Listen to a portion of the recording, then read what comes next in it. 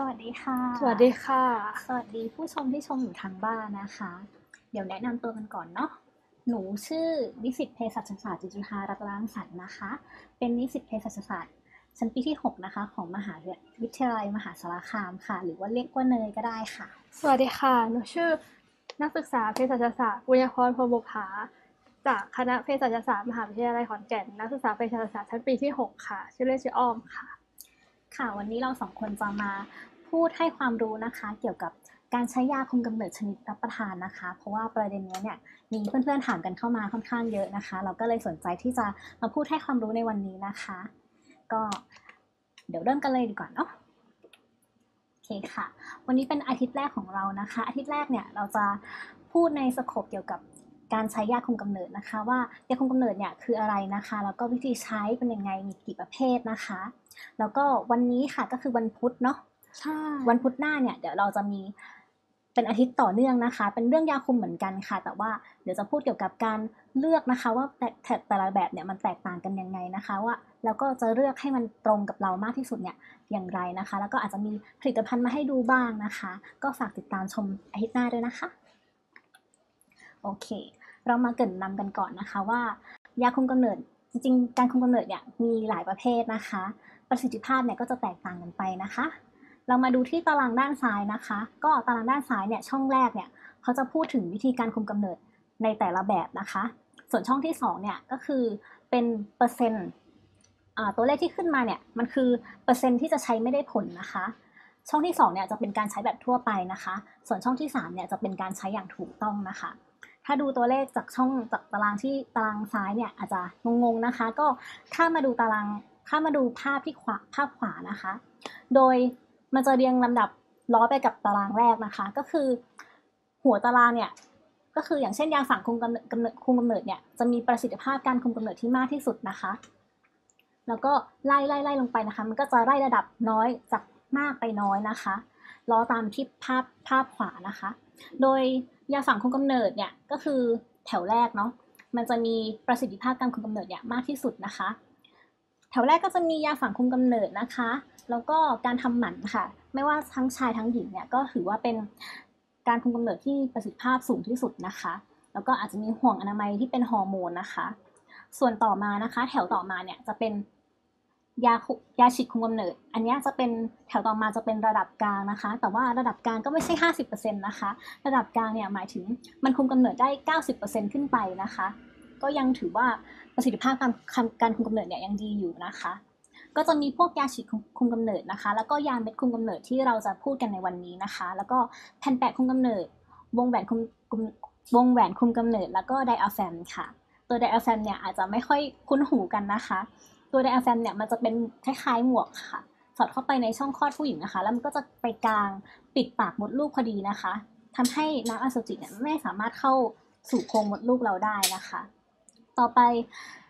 การคุมกำเนิดประสิทธิภาพน้อยเนี่ยก็แต่ว่าน้อยก็ไม่ใช่ว่าน้อยกว่า 50%นะคะ น้อยก็คือยังมากกว่า 85 85 90%อยู่ค่ะ ก็จะเป็นพวกถุงยางอนามัยชายนะคะ ซึ่งถุงยางอนามัยชายเนี่ยจริง ๆ แล้วถ้าเกิดว่าเราใช้ถูกต้องนะคะ มันไม่รั่วมันไม่แตกหรือว่าใช้พอดีไซส์ของเราเนี่ย มันก็จะคุมกำเนิดได้เกือบร้อยเปอร์เซ็นต์เหมือนกันนะคะ แต่ว่า ที่มันจัดให้อยู่ในประสิทธิภาพน้อยอะ่ะเพราะว่าบางคนเขาก็ใช้ไม่ถูกก็มีค่ะ มันก็มีโอกาสพลาดได้เหมือนกันค่ะ แล้วก็ถุงยางอนามัยหญิงบางคนอาจจะไม่รู้ใช่ไหมคะว่ามีถุงยางอนามัยหญิงด้วยค่ะ แล้วก็มีการหลังนอกนะคะ การหลังนอกเนี่ยก็ถือว่าเป็นการคุมกำเนิดที่ประสิทธิภาพต่ำนะคะ แล้วก็มีการนับวันนะคะ การนับวันนี้ก็ต่ำเหมือนกัน เพราะว่าฮอร์โมนของร่างกายเรานะคะ มันจะไม่ตรงบางคนก็อาจจะมีรอบเดือนที่ นานหรือว่ารอบเดือนที่สั้นไม่เท่ากันนะคะบางคนก็มาไม่ตรงกันเลย ก็เลยนับวันจะไม่ค่อยได้นะคะ ไม่ค่อยได้ผลเนาะค่ะมาเข้าเรื่องกันดีกว่านะคะว่า oral contraceptive หรือว่ายาคุมกำเนิดชนิดรับประทานเนี่ยมันคืออะไรนะคะ ยาเม็ดคุมกำเนิดนะคะ ก็คือยาเม็ดที่มีส่วนประกอบของฮอร์โมนเพศหญิงนะคะ โดยจะมีฤทธิ์การยับยั้งนะคะ ป้องกันการตั้งครรภ์ค่ะ โดยหลักๆเนี่ยเขาจะมีสารกลไกนะคะ อันแรกเนี่ยก็คือจะยับยั้งการตกไข่นะคะ เมื่อยับยั้งการตกไข่นะคะ ไข่ไม่ตกออกมา มันก็จะปฏิสนธิไม่ได้นะคะ แล้วก็อันที่ 2 จะเปลี่ยนแปลงเยื่อบุโพรงมดลูกนะคะทำให้มีสภาพไม่เหมาะสมต่อการฝังตัวของตัวอ่อนค่ะ และอันที่สามเนี่ยก็จะเป็นทำให้มูกที่ปากมดลูกนะคะ มีความด่างแล้วก็ข้นเหนียวขึ้นนะคะทำให้อสุจิไม่สามารถเคลื่อนเข้าไปผสมกับไข่ได้ค่ะทำให้ป้องกันการตั้งครรภ์ได้ค่ะ ต่อไปก็จะเป็นประเภทของยาคุมกำเนิดนะคะ ก็จะมีแบ่งเป็น 2 ชนิดนะคะ ก็จะมีเป็นแบบฮอร์โมนรวมนะคะ ที่เป็นเอสโตรเจนแล้วก็ progestin ค่ะ แล้วก็ชนิดที่เป็นฮอร์โมนเดี่ยวนะคะ ก็จะเป็นฮอร์โมน progestin ค่ะ และยาคุมกำเนิดแบบเม็ดที่ได้รับความนิยมมากที่สุดนะคะ ก็จะเป็นแบบฮอร์โมนรวมค่ะ ส่วนยาคุมกำเนิดชนิดที่เป็นฮอร์โมนเดี่ยวนะคะ ก็จะใช้เมื่อแบบมีข้อห้ามใช้ฮอร์โมนเอสโตรเจนนะคะ หรืออยู่ในช่วงให้นมบุตรหลังคลอด หรือในกรณีที่ใช้เป็นยาคุมฉุกเฉินค่ะ และยาเม็ดคุมกำเนิดชนิดแบบฮอร์โมนรวมนะคะ ก็อาจจะมีจำนวนเม็ดต่างกันแต่ละแผงนะคะ มีทั้ง 21 เม็ดหรือ 28 เม็ดค่ะ ซึ่งตัวยาสำคัญในยาคุมกำเนิดชนิดรวมนะคะ ก็จะมีฮอร์โมน 2 ชนิดค่ะ ชนิดแรกก็คือเอสโตรเจนนะคะ ก็จะเป็น ethinyl estradiol นะคะ แล้วก็ตัวที่ 2 จะเป็น progestin นะคะ ก็จะมี levonorgestrel norethisterone desogestrel drospirenone แล้วก็ cyproterone acetate ค่ะ จากรูปด้านข้างนะคะ ก็จะเห็นว่ายาคุมกำเนิดชนิดรวมนะคะ ก็จะมีฮอร์โมนทั้ง2ชนิดค่ะ ทั้งเอสโตรเจนแล้วก็ progestin ค่ะ โอเคค่ะ มาต่อกันที่วิธีการรับประทานยาคุมกำเนิดชนิดฮอร์โมนรวมนะคะ ก็ง่ายๆเลยก็คือ เราจะเริ่มกินวันที่ 1 ถึง 5 ของรอบประจำเดือนนะคะ ก็คือ เราสามารถกินได้ให้มันอยู่ในช่วงนี้นะคะ โดยรอบประจำเดือนของผู้หญิงเนี่ย ถ้าเกิดว่าเราเป็นประจำเดือนวันแรกอันนี้จะนับหนึ่งเลย เพราะฉะนั้นเราต้องจะต้องกินให้อยู่ในช่วง1ถึง5อันนี้จะมีประสิทธิภาพการคุมกำเนิดได้ตั้งแต่แผงแรกค่ะ แต่ว่าถ้าเรากินหลังจากเนี้ยในเดือนแรกเนี่ยอาจจะประสิทธิภาพการคุมกำเนิดอาจจะน้อยนะคะ เราก็ต้องใช้วิธีการคุมกำเนิดอย่างอื่นร่วมด้วยไปก่อนนะคะ ค่ะวิธีการกินก็คือ กินวันละหนึ่งเม็ดนะคะ ในเวลาที่ใกล้เคียงกันในแต่ละวันนะคะ โดยส่วนตัวเนี่ยหนูจะแนะนำให้กินก่อนนอนนะคะ เพราะว่าเวลาเรานอนปกติเราก็นอนเวลาใกล้เคียงกันอยู่แล้วนะคะ ก็แนะนำให้เอาแผงยาคุมเนี่ยค่ะ ไว้ตรงหัวเตียงเลย เวลาเราเดินเป็นที่เตียงเนี่ยเราจะนอนเนี่ยเราก็เห็นแผงยาคุมแล้วเราก็แกะกินเลยเออมันจะได้ง่ายนะคะ แล้วก็สำหรับ สำหรับแผงที่เพื่อนบอกนะคะ ว่าบางบางแผงบางยี่ห้อเนี่ยอาจจะมี 21 เม็ดบ้าง 28 เม็ดนะคะสำหรับแผงที่มี 28 เม็ดเนี่ยให้เพื่อนๆกินอ่าไปกินไปเรื่อยๆนะคะกินตามลูกศรเขาเลยพอครบ 28 เม็ดเนี่ยเราก็ขึ้นแผงใหม่ทันทีเลย ทันทีหมายถึงว่าวันรุ่งขึ้นนะคะกินต่อเนื่องไปเลยไม่มีการหยุดทางนั้นนะคะ แต่ว่ายาคุมกำเนิดยี่ห้อที่มี 21 เม็ดเนี่ยเราจะต้องเว้น 7 วันค่ะ หลังจากกินครบไป 21 เม็ดเนี่ย เราจะเว้น7 วันช่วงเนี้ยประจำเดือนเราจะมานะคะ แล้วเราก็เริ่มแผงใหม่ในวันที่ 8 ก็คือวันที่ 1 ของรอบเดือนถัดไปค่ะ แล้วก็อาจจะมีบางยี่ห้ออาจจะมี 24 เม็ดค่ะ 24 เม็ดเนี่ยเราจะต้องเว้น 4 วันนะคะ เพื่อให้มันครบ 28 วันของรอบเดือนเราค่ะ ต่อไปจะเป็นอาการไม่พึงประสงค์ของยาคุมกำเนิดนะคะ ก็ที่เราทราบกันนะคะว่าเราจะเจอปวดศีรษะอาเจียนเวียนหัวบ่อยๆนะคะ ก็เป็นอาการของ การได้รับฮอร์โมนนะคะ จะมีคลื่นไส้ท้องอืด แล้วก็เจ็บคัดเต้านมค่ะ จากการได้รับฮอร์โมนเพศหญิงนะคะ แล้วก็อาจจะมีเลือดออกผิดเลือดออกผิดปกติในช่องคลอดได้ค่ะ ซึ่งโดยทั่วไปนะคะ อาการพวกนี้จะดีขึ้นเมื่อรับประทานไป 2-3 เดือนแล้วค่ะ หรือว่าแผงที่ 2 แผงที่ 3 มันก็จะดีขึ้นค่ะ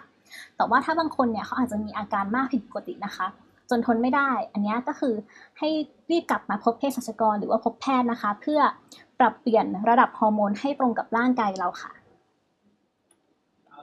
ค่ะต่อไปเป็นข้อห้ามใช้นะคะ ก็อันนี้จะเป็นข้อห้ามใช้ยาคุมกำเนิดแบบฮอร์โมนรวมเนี่ยค่ะ